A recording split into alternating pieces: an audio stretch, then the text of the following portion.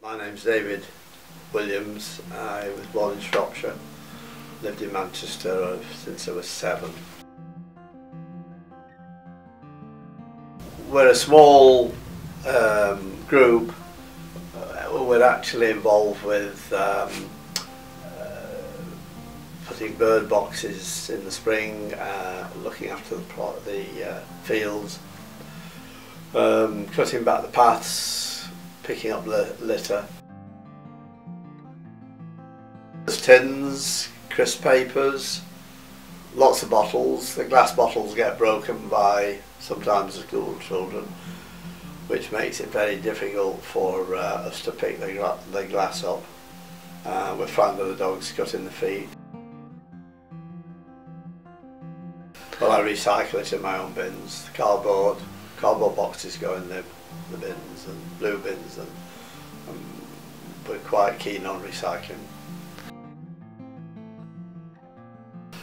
Well, we've got a moan at the moment about uh, fellow dog owners um, collecting their dog's waste and throwing them into the bushes, which seems to be a bit of a waste of time. But um, I think it is getting. Uh, I think, I think it's more fashionable. I've picked up two or three bags this week, and um, it's the sort of thing we wish they wouldn't do anyway.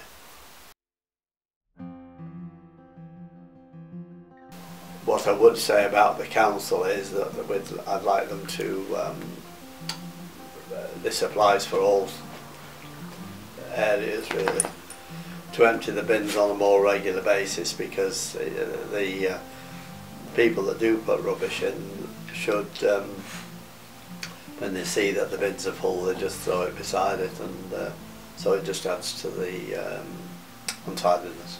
The lads that we know that work for the council are extremely good lads and they're very conscientious, but I think they're they're stretched um, very thinly on the ground.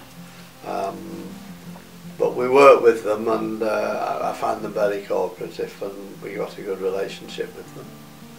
But um, I think about the past of Manchester, we've got a wonderful past with uh, um, all the commerce and the cotton trade the ship canal, the railways. Um, I went down the other day with a friend of mine to look at the new um, uh, reconstruction of Victoria Station, which is going to be something. So there's lots going on.